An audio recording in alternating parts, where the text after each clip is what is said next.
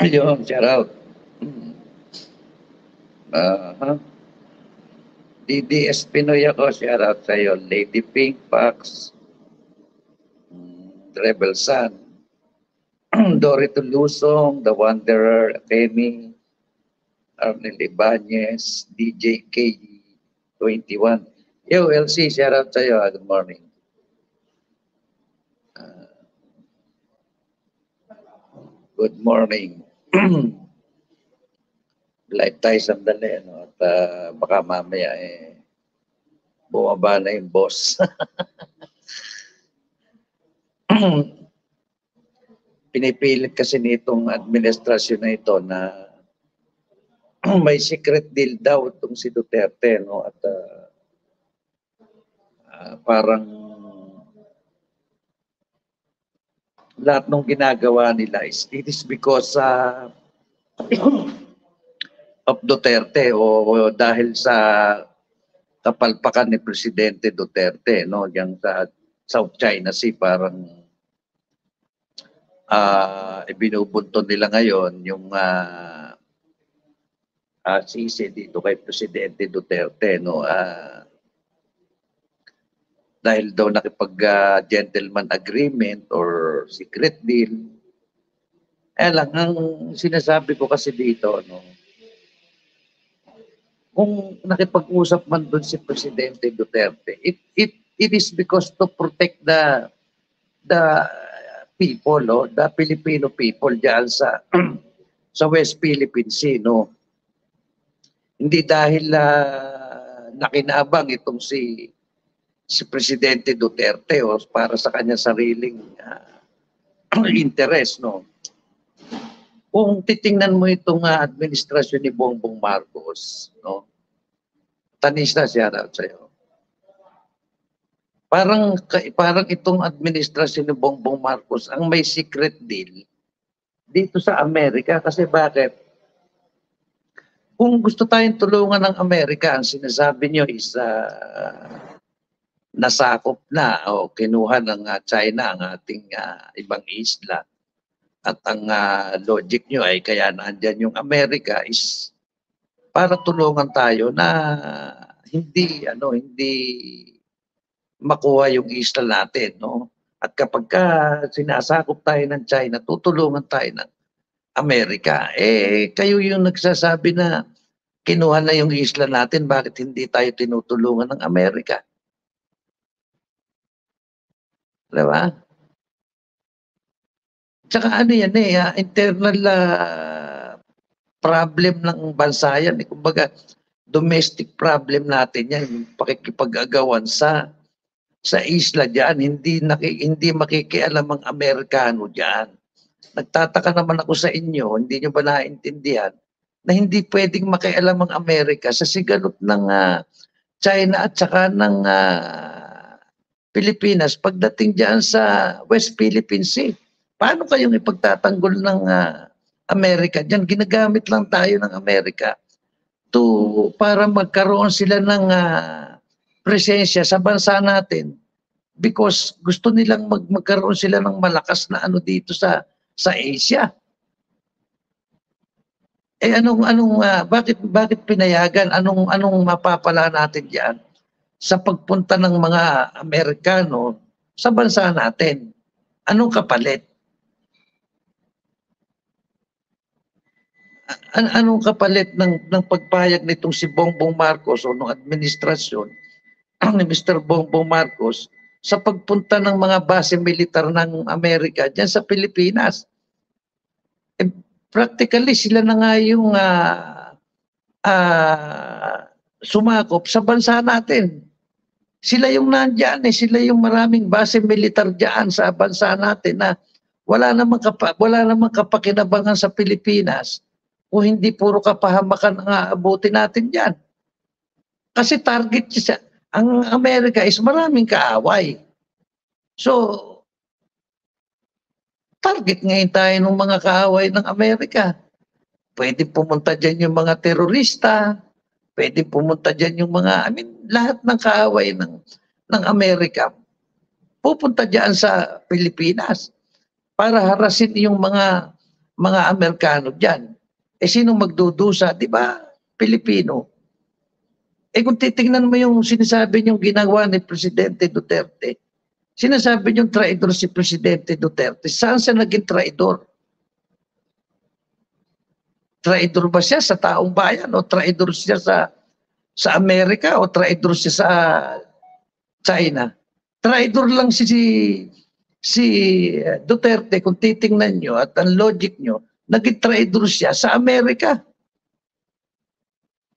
Kasi nga, alam ni Presidente Duterte na pagka ang Amerika ang tinampihan mo, mas malamang na mauwi ka sa yung bansa mo sa pakikipagdigma sa kalaban ng Amerika. Eh, wala naman tayong kaaway eh. Bakit ngayon meron tayong kaaway? Diba? Ba't meron tayong kaaway ngayon na China at uh, uh, nag, ewan ko sa inyo. Orly, uh, uh, boy, shout out sa'yo. An Annabel Margin, yan.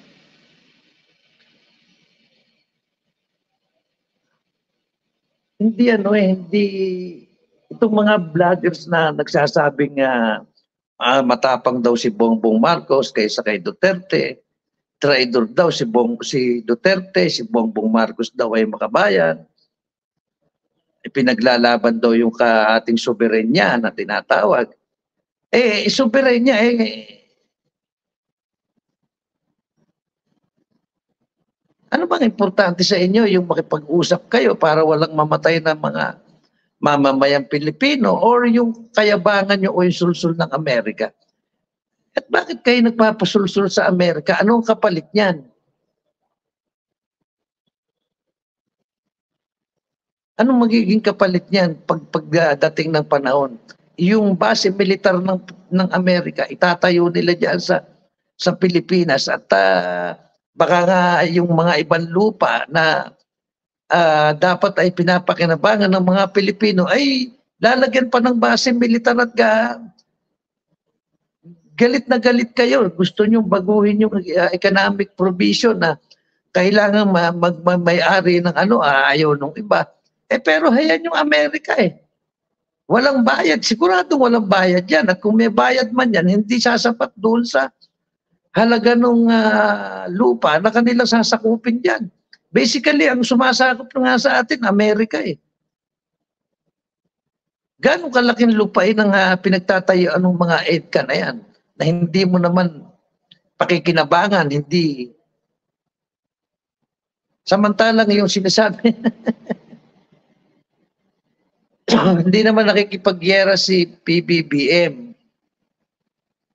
pinoprotektahan lang niya ang WPS. Hindi siya nakikipagyera.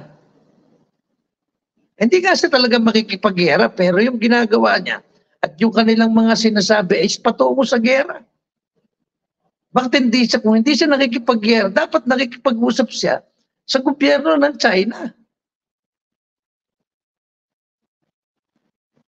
Alam mo, ang pakikipaglaban sa dalawang klase lang ang pakikipaglaban kung meron kang pinaglalaban. Una mong gagawin, makipag-usap ka. Lalong-lalo na kung alam mo na hindi ka mananalo pagdating sa gera. Ang lakas ng loob niyong uh, lumaban ng uh, balitaktakan dyan sa West Philippines Sea. Hindi niyo iniintindi na pag nag-escalate yan sa kalupaan, eh sino kawawa? Amerika ba? Diba?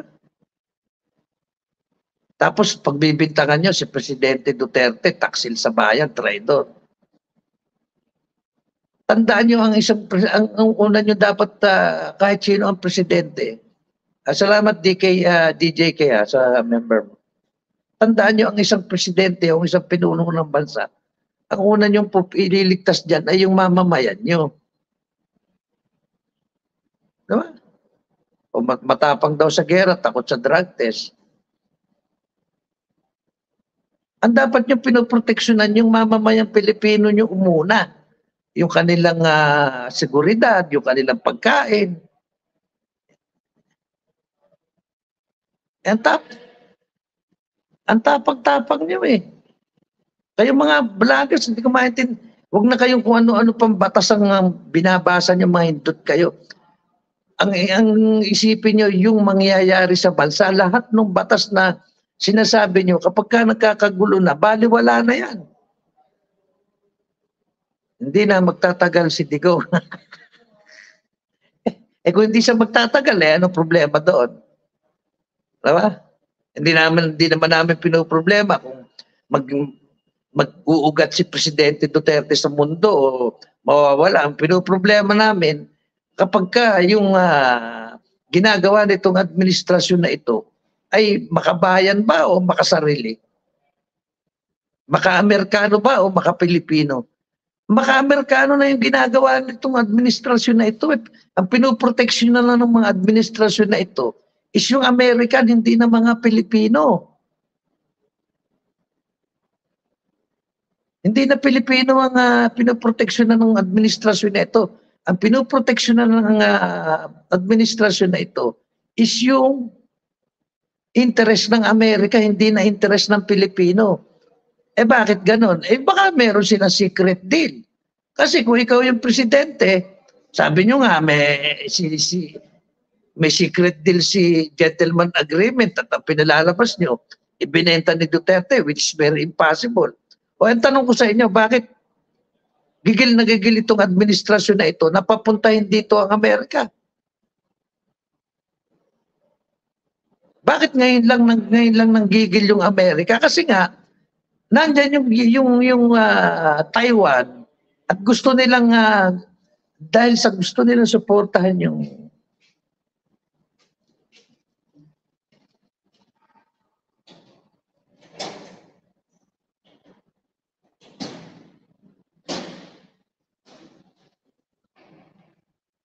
Ayan. Dito tayo. merong ano doon, merong ginagawa.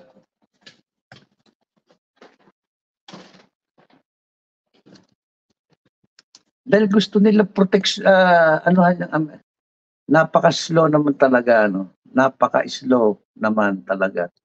Ewan ko kung anong islaw sinasabi mo. Makinig ka na lang, uh, yung basintado, no? Bakit uh, bakit itong Amerika suddenly bigla tayong tutulungan? Tingnan niyo, panoorin niyo yung nangy- nangyari sa Haiti. Sa Haiti. Wala, wala. Bakit hindi nila tinutulungan yon? Bakit itong mga, itong ICC na ito, hindi kayo magsipunta doon? At nandun, wala nang, wala nang batas na umiiral doon. Bakit ito si Duterte na si Duterte pinatupag nyo kasi nga anti-American ito si si Duterte. Bakit hindi ka naman mag-anti-American? Wala ka namang mag hindi nyo magugulangan ng Amerika. Hindi nyo kayang gulangan ng Amerika. Hindi ako pro-China. At hindi rin ako pro-American. Ang sinasabi ko dito, kasi kayo, ang, ini, ang iniisip nyo, kumampi sa China, kumampi sa Amerika, hindi nyo iniisip ko ano yung mangyayari sa bansa nyo, sa bansang Pilipinas. Ano? hindi hindi nyo naiintindihan ko ano mang magiging epekto ng mga pinaggagawa nitong mga Amerikanong ito na they are provoked, nagpo-provoke sila sa China. Bakit sila magdadala ng maraming ang uh, armas diyan sa Pilipinas kung hindi gera ang patutunguhan. Anong pinaghahandaan nila dito? Sasabihin nyo siya, hindi naman makikipaggagera si Bongbong Marcos. Pinapangalagaan lang yung, pwede mong pangalagaan. West Spencer, wala ka naman sa Pinas, di ba? Wala. Pero hindi ba ako uuwi? Yan ang problema sa inyo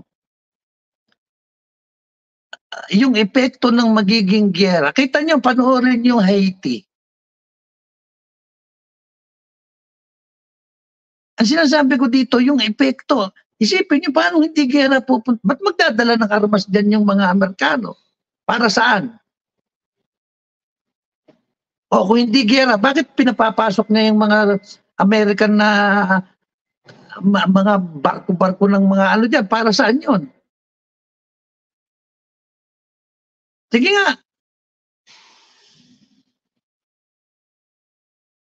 Paano? Ang kaya mababaw kasi yung ano eh, mababaw kasi yung ano nyo, nakatingin lang kayo sa isang kung, ano- kung, sa, kung saan yung harapan nyo. Ang Tingnan nyo yung mangyayari sa bansa. Nasa Amerika po. Hindi natin kaaway ang Amerika, hindi natin kaaway ang China. Nagkataon lang na mayroong pinag-aagawan dyan sa West Philippines. Yan sinasabi ko dito, bakit kailangan mo isakripisyo yung 100 million na populasyon ng tao dahil lang sa sinasabi mong ah, inaagaw yung isla natin. Eh pwede ka namang makipag-usap. Ngayon, kung sinasabi nyo nga tayo ipagtatanggol ng Amerika dahil tayo ay sinasakop na yung isla natin, eh bakit hanggang ngayon hindi sila nakikialam doon sa West Philippines eh? Nasaan yung pagtatanggol doon? Pero dala sila ng dala ng mga barko, armas diyan sa ating ah, bansa. Wala, nandito ako sa Haiti, sa Nigerian, African continent. Hmm. Akay may shout out sa'yo. may sinasabi ko lang dito, ang lagi niyong ini-issue rito, dinadivert niyo kay Presidente Duterte. Hindi na siya ang presidente. Baka, baka magising na lang kayo isang umaga. Hindi nyo na alam kung saan kayo pupunta. Ah. Diba? Duterte kayo ng Duterte. Si Duterte ang may kasalanan. Si, si Bongbong Marcos ang mag- magaling. Si Duterte may secret deal. Si Bongbong wala. Anong si, paisipin nyo nga paano paanong napapayag si Bongbong Marcos suddenly ang sinasabi nyo nung una hindi po pwedeng ah, ah, umano sila sa China at ano kasi para lang daw pag bumahing lang daw ang isa dyan sa dalawa na yun, tayo yung malulusaw. Eh bakit ngayon, gigil na gigil kayo sa China at ah, ah, yung Amerika nandyan? Ano?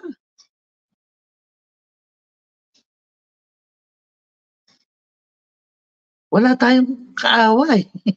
Ang kaaway natin yung mga politikong magnanakaw. Eh yun muna ayusin natin, hindi yan kung ano-anong anak ng putya.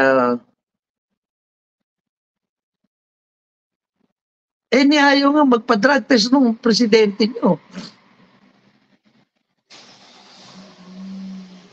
Sabihin niyo muna sa presidente niya, magpa-drug test bago siya maging makapilipino at makabayan na sinasabi niyo. No?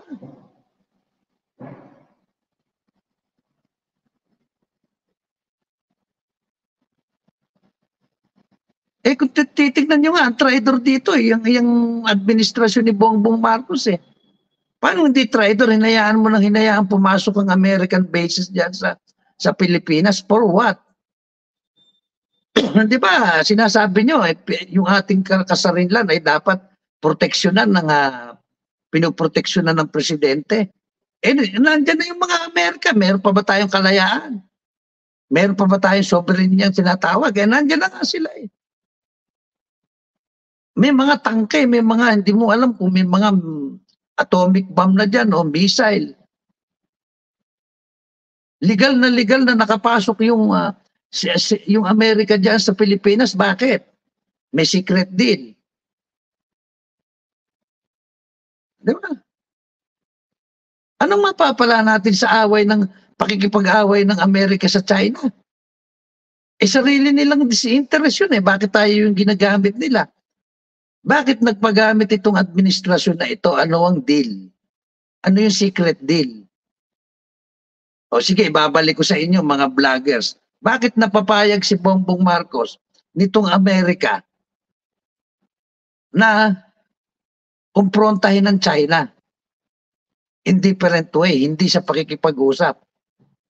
Kasi ang gusto ng Amerika, girahe, palaga natin yung China para magkaroon sila ng dahilan na lumapag dito sa Pilipinas indefinitely. Eh, ang tagtataka ako kung sinasabi niyong makabayan nitong si Bongbong Marcos, bakit niya hahayaan na, bakit siya pumayag? No, bakit siya pumayag na alam niya pagka pumatol ang China sa gera, ay ang mamamatay ay mga mamamayang Pilipino. Makabayan ba tawag nyo doon? Ganun ba, ganun ba gusto nyo, ang makabayan, nung panahon ng gera, anong inililigtas natin? Yung mga mamamayang Pilipino. Eh ngayon, ang pinapain nyo, mamamayang Pilipino.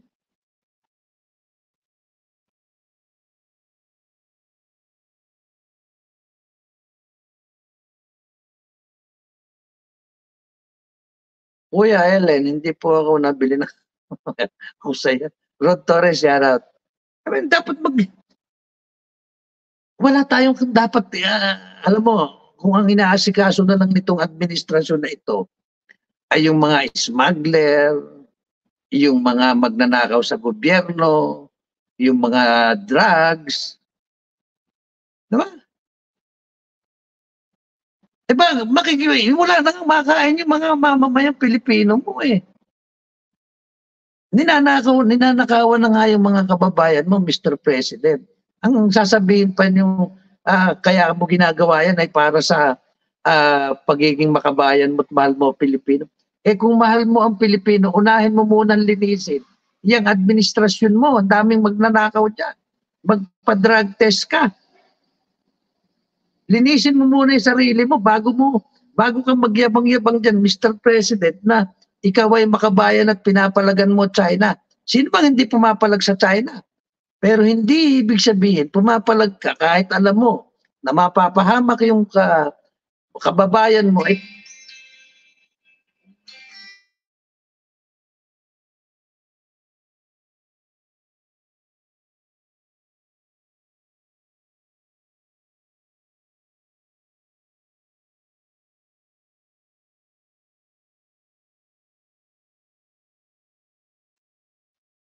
hindi, hindi naman ako, ano, eh, ba't naman ako mapipiko? Ang sinasabi ko lang dito kasi, ah, hindi naman ang mga Duterte ang problema ng Pilipinas eh. Ang problema ng Pilipinas, ah, yung mga politiko sa atin. Kahit anong gawin nyo, kahit anong gawin natin, kapag yung mga politiko na yun ay nandiyan, talaga hindi tayo aasenso. Kasi interest nila lang yung pinoproteksyonan nila. Ayaw pa sa war on drugs. Di ba? Pero gusto nila makipagyera sa China. At yung mga ibang vloggers, pinagtatanggol pa.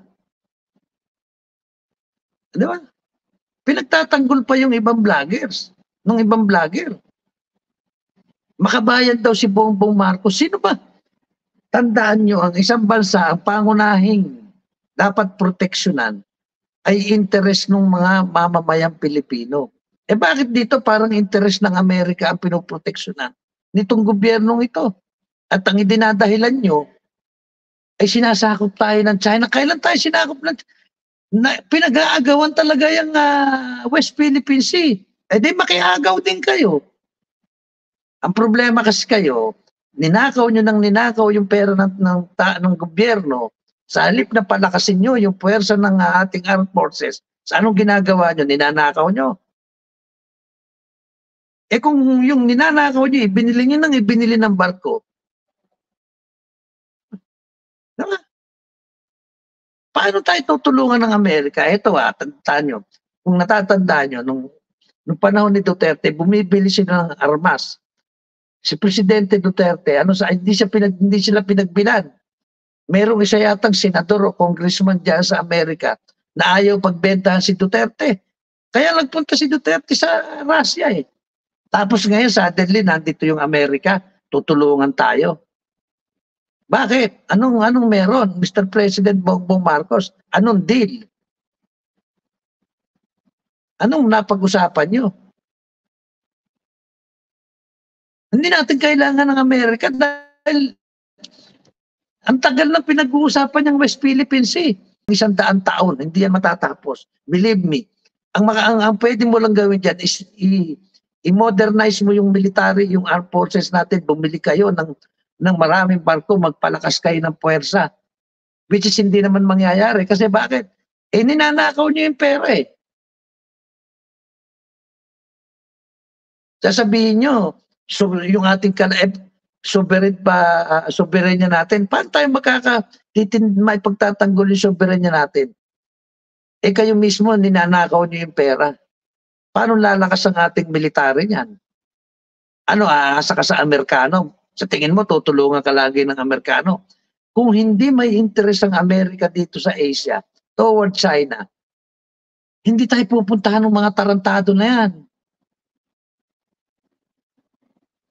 Hindi, yun kasi yung pinakikita nitong administrasyon na ito ng Amerika ay matutulong. Kailan tayo tinulungan ng Amerika?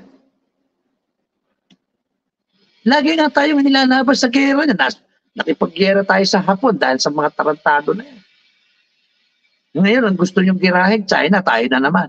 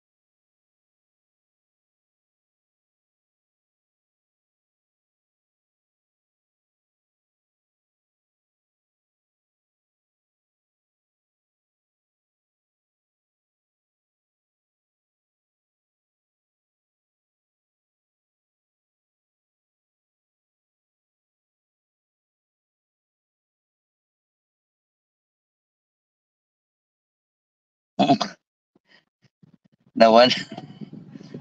Tumawag yung boss ko eh. Ayan.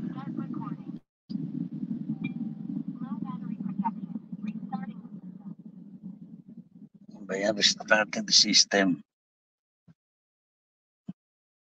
Nga sinasabi ko dito kasi no, ah, di kaya ang, ang administrasyon ni Bongbong Marcos ang may secret deal dito, no? Ah, pinagtatakpan nyo lang at ah, parang ah, gusto nyong ibalik. Hindi, dito na ako. Nagpunta lang ako doon sandali. Pinunta ko yung, ah, alam mo naman, working boy. Mm. Renato Baile, yan, shout out sa'yo. Lagi sinasabi nila, si Duterte, traidor, si Duterte, ibinenta ang hindi. Tignan mo nga pag-iisip nyo, ah. napaka ano niya, napaka ano ng pag-iisip niya, napaka babaw, no? Ah, dapat yung tinitingnan dito, ano bang magiging epekto nung ginagawa nitong administrasyon ni Bongbong Marcos dito sa mamamayang Pilipino? Yun ang issue rito eh. Mamirani shoutout po. Hindi naman issue rito yung ah, ano eh, ang sinasabi ko dito, ano ang magiging epekto nito sa taong bayan? Just in case na dumating tayo doon sa punto na magkaroon ng giyera. Which is ah, para sa akin, pwede namang iwasan yang ganyan kung mat matuto lang tayong makipag-usap sa China. Eh kung hindi kung, kung hindi niyo kakausapin yung China at dadaanin niyo sa sa parating ah, kayo ay ah, pinagtatanggol niyo yung ating kalayaan, soberanya, Marilo Igaragarasi shoutout sa'yo. Pinagtatanggol yung mga yung West Philippines, hindi walang mangyayari sa buhay natin dito. Alam na alam naman natin kung anong sasapitin natin at ang Amerika, walang pakialam sa atin yan. Ang gusto ng mga yan, isulong lang kung ano yung interest nila dito sa Asia, which is ah, yung Pilipinas kasi kailangan nilang ah, makaposisyon dyan towards sa China. Ano bang kung kung kung handyan pa yung Amerika, kung wala ba diyan yung Amerika at nakikipag-usap kayo sa China, gigira I mean ano bang anong maitutulong ng Amerika eh pinabayaan na nga tayo yan after the Second World War eh. Kita mo nga pinabayaan tayo. Kaya nga tayo nagiging kulelat sa sa pagiging ah, isang bansa eh. Nilapastangan yung bansa natin nung panahon ng Hapon. It is because of the American. Anong ginawa ng Amerika? Nakikiusap pa yung ibang mga veterano nakikiusap pa na makuha yung kanilang ah, benepisyo. Yung iba nakik, nak, halos namatay na. Gustong magpunta ng Amerika nung kamag-anak hindi makapunta. Pinaghihigpitan. Pero pagdating sa sa kanilang interest inuuto-uto tayo. At ang nakakapagtaka dito alam naman ni Presidente Bongbong Marcos kung ano yung pag-uugali nitong American at ginawa na sa kanilang pamilya bakit ka pumayag? Bakit ka pumayag na ang mga Amerikano ay magpunta rito at sulsulan tayo na ipaglaban natin eh ang na natin nakikipaglaban diyan sa sa West Philippine Sea by um, nakikipag-usap. Bakit ngayon lang? Nung magkaroon ng ah, ah, ambang paggigiyera diyan sa Taiwan bakit kasi gagamitin tayo ng China la, ng Amerika na launching pad ng kanilang mga missile toward China. Ito namang gobyerno, pinagtataka ko, kung makabayan ka Mr. President Bongbong Mar, bakit ka pumayag? Ano ang kondisyon o ano ang deal nyo na ibibigay sa inyo ng Amerika bukod sa sinasabi mo tutulungan tayo? Actually, bakit, anong tulong bang hihingin mo sa, sa Amerika? Eh, hindi naman tayo ginigera ng China nag-aagawan tayo sa iskasa dyan sa West Philippine Sea. Eh kung ang sinasabi niyo tutulungan tayo, eh bakit hanggang ngayon hindi kayo tinutulungan ng mga Amerikano dyan sa West Philippine Sea? Wala man lang silang ibinibigay sa inyo na water cannon na barko. Nasaan? At ang, ang ginagawa ng mga Amerika, bagsak kayo ng bagsak ng barko dyan sa Subic Bay, dyan sa mga EDSA site. Diyan kayo nagpupunta, hindi doon sa West Philippine Sea. Eh, nasa West Philippine Sea ang sinasabi niyong kinaapi tayo ng China eh. Bakit hindi doon sila magtambay? Sige nga, tanungin ko nga kayo mga balagers. Kung ang dispute ay nasa West Philippine Sea, eh bakit wala tayong makitang barkong Amerikano doon? Bakit nandyan sa mga kusasan ah, strategic point na ah, lugar ng Pilipinas toward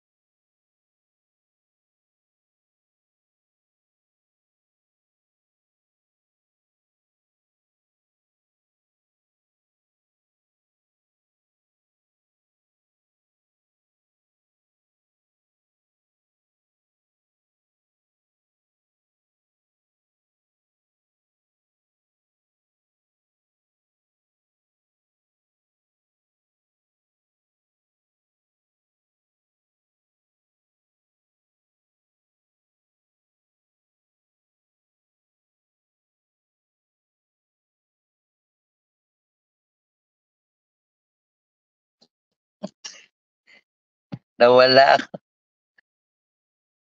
Na-chat ko na. Technical error po, ayan. ah. nawawala kasi internet ko, no? Ewan ko ba, bakit nawawala yung internet ko na to?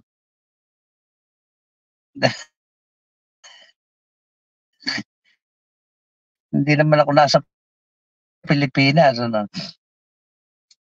Ah, balye na sa, sa shoutout sa'yo. No? Pasensya na, nawawala yung internet ko. eh. Hindi ko maintindihan to. Kailangan sinasabi ko dito, mabalik tayo dito kay Bongbong Marcos. Unang-una, anong dahil anong anong anong sa, sa paanong party tayo ipagtatanggol ng Amerika? Unang-una, ang tagal na ng dispute na yan. Hindi naman tayo lang ang mga nagkiklaim diyan sa West Philippine Sea. Madami. Bakit tayo lang yung napili ng Amerika na uh, udyukan o tulungan? Bakit nung panahon ni Duterte o nung panahon ni Pinoy hindi nila ginagawa yan? Sa naintindihan natin. Pero ano, ano, ang- paano sa paano paraan tayo tutulungan? Just sa West Philippine Sea. Eh, hindi naman tayo nakikipagyera, nakikipag-usap nga dati si Duterte dyan.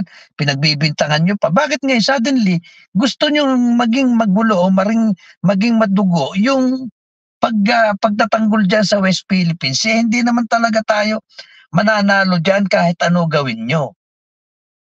At kung sinasabi nyo tayo tutulungan ng ah, Amerika dyan sa West Philippine Sea, bakit wala yung mga barko nila doon sa West Philippine Sea at inilalagay nila sa sa mga strategic position towards China kung saan saan parte ng Pilipinas. Ano ba talaga ang intensyon ng Amerika? Tulungan tayo o ilaban tayo ng gera? At bakit pumayag itong si Presidente Bongbong Marcos? Eh matalino ka naman kamo, sabi mo, di ba? Hindi mo ba naiisip kung ano ang motibo nitong mga Amerikano at hindi mo ba naiintindihan na maraming mamamatay na Pilipino just in case na matuloy itong gera na ito which, which, is most probably matutuloy ito kasi bakit? Eh nagdalagay, nagdadala na kayo ng mga armas dito eh. Yung mga Amerikano eh. Saan nyo gagamitin yan? Ano? Display. Ano kapalit nito, Mr. President? Yung pagsasakripisyo mo na gawing launching pad ang Pilipinas na itong mga Amerikano towards sa, sa China. Eh lang naman talaga intensyon ng Amerika sa Pilipinas eh. Gawin tayong launching pad papunta sa China. Bakit ka pumayag? Anong deal?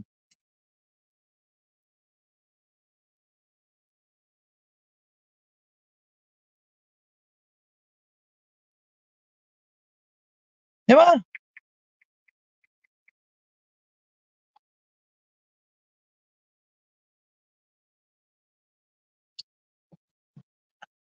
Ano?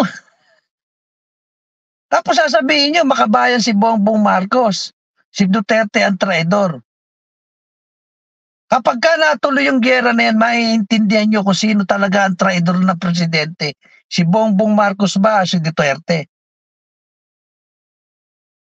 Anak ng kamoting kahoy. Nag, doon nagkaka, eh, nagkakabombahan ng, ng water cannon sa West Philippine Sea. Bakit walang Amerikano nagpupunta ro kung gusto kayong ipagtanggol? Bakit yung mga American nandyan at pumupwesto kung saan saan? Diba? Di ba kayo nag-iisip?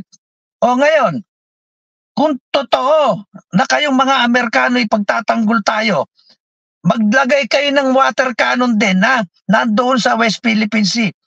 At escortan nyo yung mga Pilipinong mga sundalo ron. Kasi yun ang, pra, ang logic na ipagtatanggol natin ng Pilipinas. Bakit hindi nyo tinutulungan doon?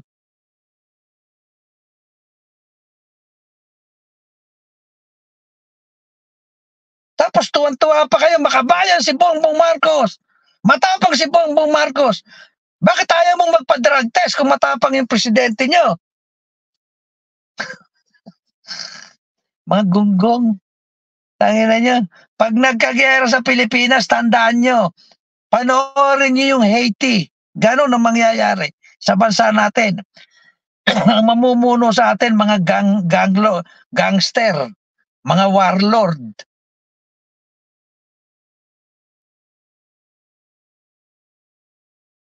Diba? Yun ang aabutin natin. Kaya nagtataka ako dito sa mga sa mga uh, supporter nito si Bongbong Marcos eh. Niluko na nga kayo. Ngayon, ilala, ipapapatay pa tayo nitong gobyernong ito. Alam naman, alam naman, sumaya buhay natin kapag nakipag-away tayo sa, sa China. Ha? Saka naman nakakita ng nakipaggera na sumaya ang buhay. sa halip-halip na, ah, pwede pa tayong mabuhay ng maayos, makipag-usap lang kayo sa China, alam mo, hindi mangyayari na dahil gigirahin, gigirahin nyo ang, ang China o magtatapang-tapangan kayo sa China, ay makukuha nyo na yung gusto nyo. Hindi mangyayari yan. Lalo tayong mawaw. Lalo tayong mawawala ng isla kapag ka pinilit nyo yung strategiya nyo na magtatapang-tapangan ka, Mr. Bongbong Marcos. Bakit ka nagtatapang-tapangan? Kasi sulsul ng Amerika. Bakit ka nagpapasulsol? Anong deal nyo? Sinasakripisyo yung taong bayan dahil sa pansarili nyong kapakanan. Sariling kapakanan mo, Mr. President, at kapakanan ng Amerikano. Sino ang kawawa? Mamamayang Pilipino.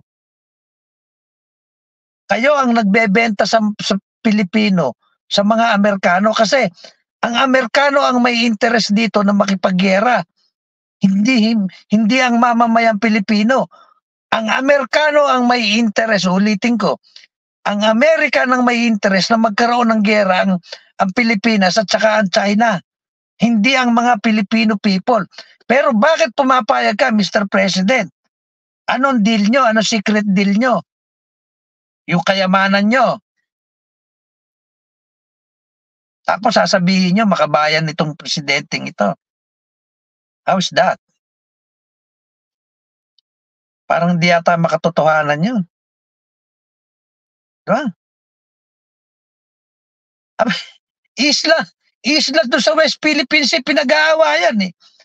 Isla sa West Philippine Sea. Doon tayo binubuli.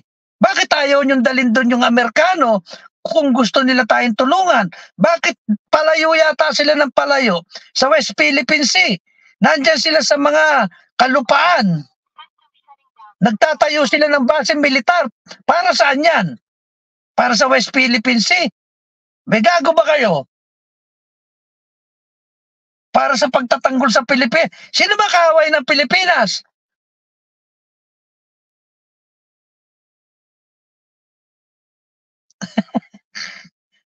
Totoo naman yung sinabi mo, si Laner.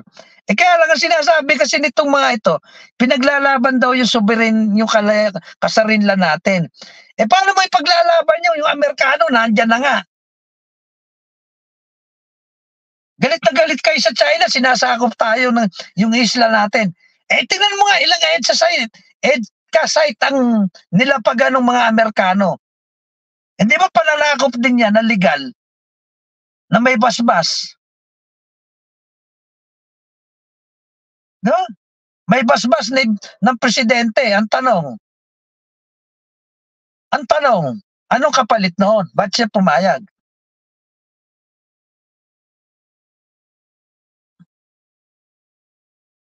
Di ba? Eh, sige, pagpatuloy niyo yung pagsuporta nyo, eh, at the end of the day, eh, makita nyo, kapag sana, wag namang matuloy, wag naman tayong uh, patulan ng uh, China, no? Kasi masisira din sila. Rantek TV, shoutout. Kaya lang, siyempre, hindi naman na habang panahon ay uh, pag inaasar mo ang isang tao, napipikon din yan. Di ba? Definitely, ang mananalo rito kapag ka nagkagera ang ginyera tayo ng uh, Chinese, ang mananalo lang dito si Bongbong Marcos at Amerikano.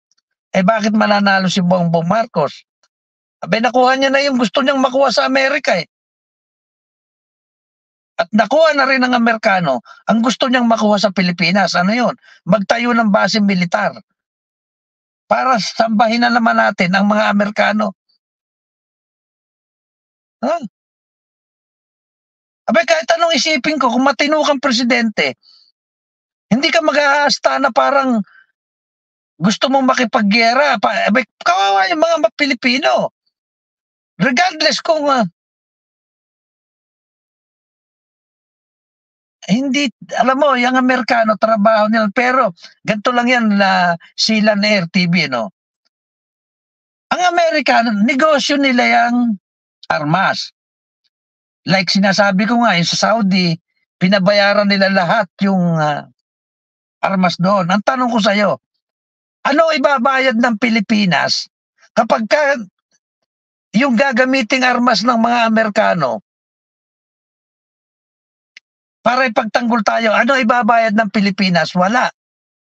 Wala tayong pere. Ano gagawin ng mga Amerikano? O wala kayong maibayad. Dito muna kami. Magtatayo kami ng base militar dito. Ito ang kabayaran. Ganyan ang gagawin ng Amerika sa atin. Magtatayo sila ng base militar dito bilang kabayaran doon sa pagtulong kuno sa pagtulong kuno laban sa China na sila naman ang may gusto. Ganyan kagulang ang mga Amerikano. Dahil wala tayong ibabayad, kukuhanin nila yung pagtatayuan nila ng base militar dyan at yun ang magiging kabayaran ng Pilipinas dito sa mga Amerikano.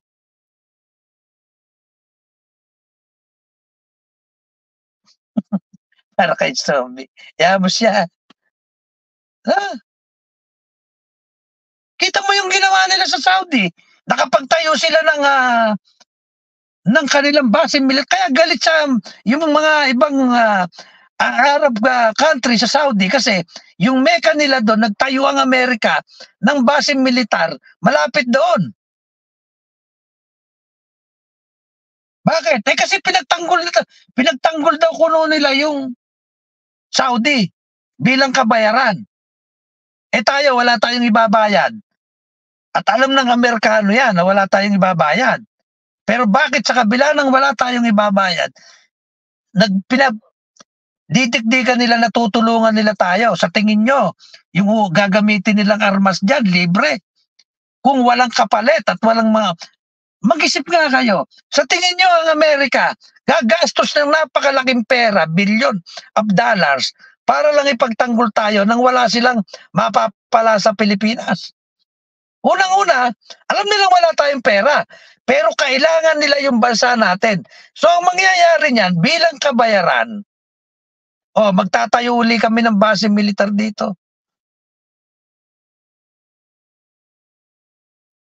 For 50 years, 100 years.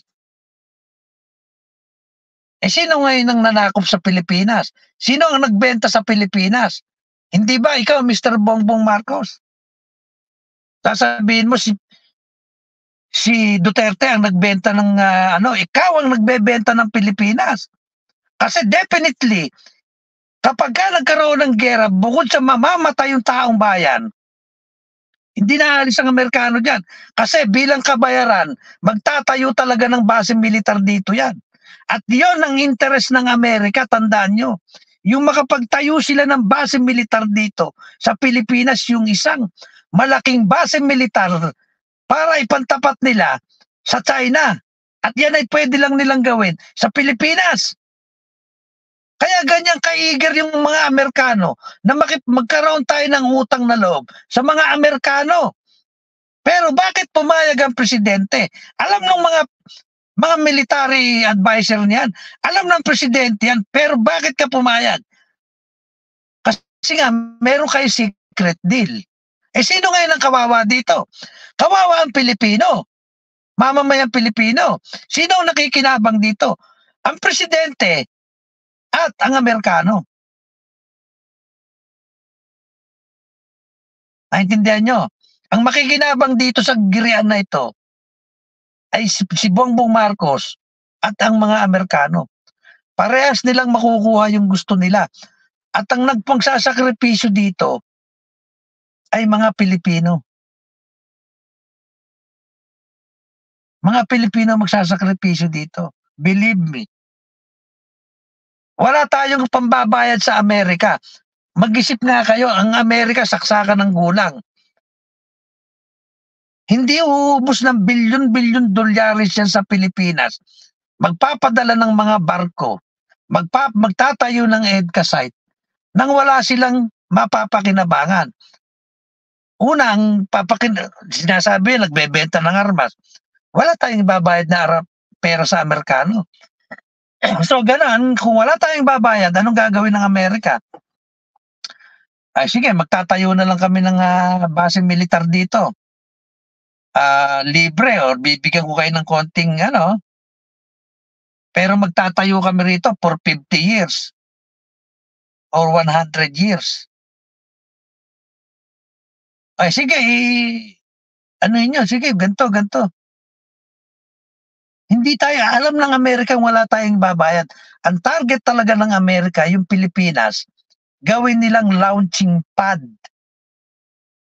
Para saan? Para sa China. Eh, sino bang kalaban nila dito? Eh, China. Eh, tayo yung malapit sa China eh. At tayo lang yung kayang, ito lang presidente natin, ang kayang sulsulan ng Amerika kasi bakit? Eh maraming interest itong mga Marcos sa Amerika na pwedeng ibalik ng Amerika yung interest ni Bongbong Marcos. Ngayon, pagbibintangan nyo si Duterte. Mag-isip nga kayo. Sasabihin nyo, makabayan si Bongbong Marcos. Matapang si Bongbong Marcos. Matapang siguro ang hiya. Di Ala tayong ibabayad sa Amerika. Bakit tayo tutulungan ng mga tarantado na yan? Kasi nga may interest sila sa Pilipinas. Hindi naman interest ng mga Amerikano na makuha natin yung West Philippine Sea. Wala silang pakialam dyan. Ang interest lang nila, magkaroon tayo ng utang na loob, magkaroon sila ng dahilan para makapwesto sila sa Pilipinas. Ngayon, anong ginagawa nitong uh, gobyerno ni Bongbong Marcos? Dahil sila may secret deal. Ina-adjutate niya ngayon yung sitwasyon. Pinalalaki niya yung sitwasyon na parang ang sinasabi niya, tayo inaapi ng China, bla bla bla bla bla bla. Para ngayon magkaroon ng dahilan itong Amerika. Ginajustify ngayon ni Bongbong Marcos yung presensya ng mga Amerikano diyan sa Pilipinas. Parang ang uto-uto itong presidenteng ito. Siya pa yung nagja-justify ng presensya ng Amerika sa Pilipinas. Bakit? Eh baka may secret deal. Isipin mo, siya pa yung nagpo-propaganda para magkaroon ng justification yung present ng Amerika, yung presensya ng Amerika sa Pilipinas. Ano yon? Ipagtatanggol tayo. Hindi naman tayo ginigera ng China. Nagkakaroon lang ng agawan doon. Eh, pwede naman kayong mag-usap at matagal naman nag-aagawan doon. Hindi naman Pilipino, Pilipinas lang. Ewan ko sa inyo. Pagdating ng araw, maintindihan nyo yung mga sinasabi namin dito. Huwag naman sana ano, na magkagera. Pero tandaan nyo, hindi papayag ang Amerika na hindi sila makapwesto sa Pilipinas sa panahon ni Bongbong Marcos. Kasi kontrolado nila ang uh, itong si Bongbong Marcos sa panahon na ito. Kaya galit na galit sila kay Sara Duterte. Kasi kapag ka naupo na si Sara Duterte, hindi na sila makakalatak dito sa Pilipinas. Yun yung totoo nun. Yung interest ng Amerika, kapag ka Duterte ang naging presidente, hindi nila maisusulong. Kaya todo sira nila sa mga Duterte. Kasi ayaw nilang mapwesto si Sara Duterte. Di ba? Bakit po tayo nakikipagagawa ni atin yun? Eh, yun ang claim natin. Yun din ang claim ng China eh. Parang ano lang yan, nakakita ka ng, uh, ng isang ano sa daan, dalawa kayo, mag-aagawan kayo. Diba? Pero hindi ibig sabihin, makikipagsaksakan ka. Oy, Coach Oli, shout out sa'yo. Eh, si Coach Oli, shout out sa'yo. Ah, mga idol kong isa, si Coach Oli, yan. Lagyan ko nga jacket to. at, Mm, napadalaw ka, ha? Mm.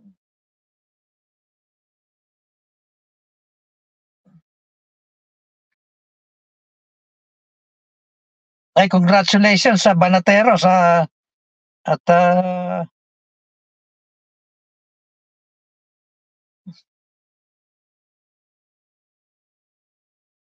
Marcos Bongbong, ayan.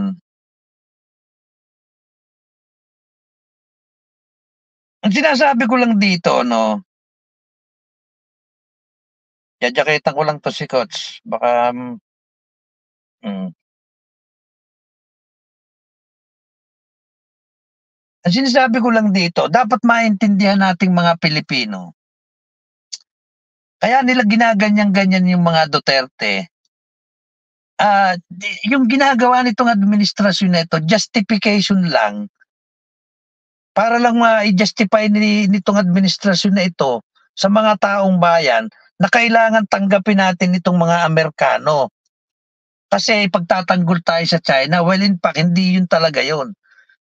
Ang gusto talaga ng Amerikano ay magtayo sila ng base militar dito. Not because dyan sa West Philippines hindi yan ang target ng mga yan. Ang target ng China ng Amerika is to ah, yung i-balance ang power dito sa Asia. Gusto nila kung maaari, sila yung mas ah, mas powerful dito sa Asia. Isipin mo katarantado ng mga Amerikano na yan. Hindi naman taga-Asia yung mga gago na yan. Bakit hindi kayo doon sa sa West kayo maggaganyan? Bakit pinakikialaman nyo yung Asia? Gusto kasi nila yung China pahinain nila yan o tapatan nila. Pa, kumbaga kinikasing nila yung China, kinakahon nila by doing uh, putting some base uh, mga basing militar kung saan malapit sa kanila. And it so happen ang Pilipinas ay isa sa pinakamagandang uh, pagtayuan ng base militar. So ngayon, paano niya maitatayo yan? Kailangan i-justify nila na kailangan ng Pilipinas itong base militar. Paano nila i-justify yan? Kailangan nilang pahingayin yung West Philippine Sea. Ay maganda ay. Magandang afternoon, Bossing Spencer Pangkapay. Salamat, ah, Maria, Maria Maria, salamat. Super sticker. Kailangan nilang i-justify yung pagpunta ng Amerikano dito. Eh sino ngayon ang nagja-justify niyan? Nagtataka naman ako, bakit presidente ang dakdak ng dakdak dyan, hindi yung mga foreign affair, yung mga bla bla bla. Siya pa yung nagja-justify na kailangan talaga na, tayo, na itong mga Amerikanong ito ay magpunta sa Pilipinas. Pero tingnan nyo, ang sinasabing inaagaw ng China is West Philippine Sea. Nasaan yung Amerikano? Nasaan? Nandiyan pumupwesto sa Subic Bay kung saan saan. Bakit wala kayo dun sa West Philippine Sea? kung talaga ngayon ang intensyon nyo. Diba? At walang balak ang China na girahin ang Pilipinas maski nung unang panahon pa. Bakit ngayon sinasabi nyo, sinasakop tayo? Eh kung sinasakop pala tayo, bakit hindi tayo pinagtatanggol ng Amerikano? Kahit saan tingnan mo aspeto, wala silang pakialam dyan sa West Philippine Sea. Ang gusto lang nila, makapagtayo sila ng base militar sa Pilipinas. Para saan yung base militar? Para equal power sila, maka, makatapat sila ng, ng power dito sa Pilipinas, sa, sa Chinese. Yun lang yun.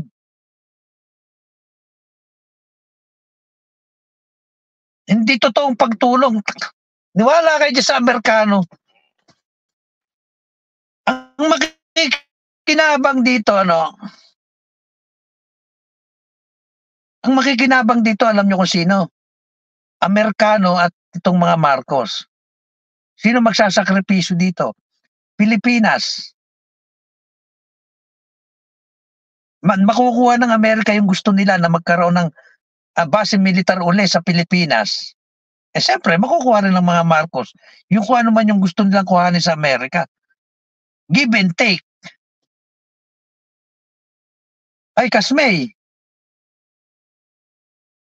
Sino bang walang jacket? Ba't nawawala yung jacket?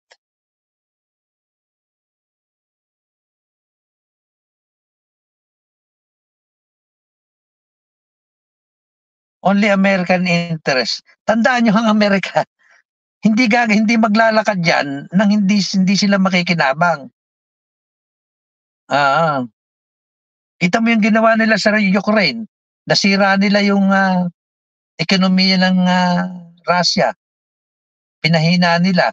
I- Ganon ang gusto nilang gawin dito sa China. Gusto nilang i-engage sa gera itong China. Kasi pag pagka nagkapaggera ang China sa Pilipinas, definitely masisira ang ekonomiya ng China. At masisira rin ng Pilipinas. So sino ang makikinabang dito? Amerika at Bongbong Marcos.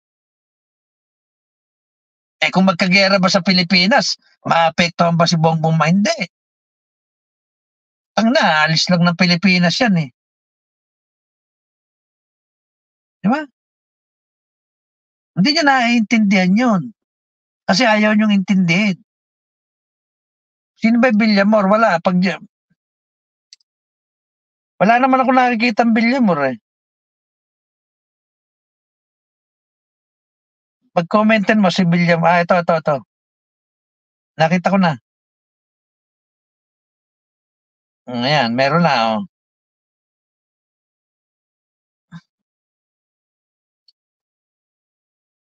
Eh, yun lang. At ako'y magpapaalam na. Mamaya na uli, ano. Sa- salamat sa mga nanood at saka kay Maria Maria. Parang sinasabi ko dito, pag-isipan nyo, sino ang makikinabang dito sa pag, ah, pag sinasabi ni Bongbong Marcos na ipinaglalaban niya yung uh, soberenya ng Pilipinas? Ang makikinabang lang dito, Amerika at si Bongbong Marcos. Sabi kayo na sabi na si Duterte ang may secret deal. Ako, tingin ko kayo ang may secret deal. Di ba? Chrissy Brooks na siya. It. Hindi kasi magtatrabaho ako eh. Gusto ko lang ano hindi dito na algabyado tayong mga Pilipino pag ganito ang pulisiya ng presidente natin. Wala, nagtatrabaho eh. Ah, kasmay. Kawawa talaga tayo dito. Kawawa tayo. Kasi yung mga nagtatapang-tapangan na yan eh. Ha? Kasi ang talagang gusto lang naman ng Amerika, magkaroon ng base militar sa Pilipinas. Towards China, talagang hindi tayo makakaiwas sa China kapag nagkaroon, nagkagera in, in the future. Kasi ang kalaban ng China is Amerika, away eh. Pero na, na, pinayagan ng presidente na yung kaaway ng China ay sa atin. So, madadamay tayo talaga dyan. In the future. So, dapat dyan, hindi mo hinahayaan na magkaroon ng base militar dyan. Ano bang interest mo sa... Matanong nga kita, Mr. President. Ano ba ang interest ng Pilipinas sa Amerika bukod sa sinasabi mo na ipagtatanggol tayo? Ano? Ano interest natin sa Amerika? Wala. Ngayon, kung yung sinasabi mo ipagtatanggol, o di huwag kang makipag-away sa China. Eh, problema sa'yo, bigla kang tumapang eh. Bakit hindi ka na lang makipag-usap doon? Instead na nakikipag-usap ka, bigla kang tumapang. Naewan ko sa'yo. Pagbabayaran yung lahat yan pagdating ng panahon. Diba? Kamukha ng tatay mo, inabot ng 20 years, pero pinagbayaran din.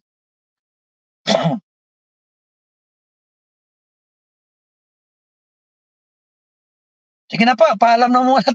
Panay na, tawag ng boss ko. Salamat po sa mga nanood. No? Shoutout po sa inyo lahat.